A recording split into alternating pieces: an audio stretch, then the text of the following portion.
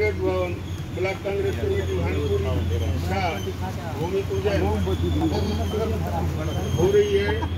मतलब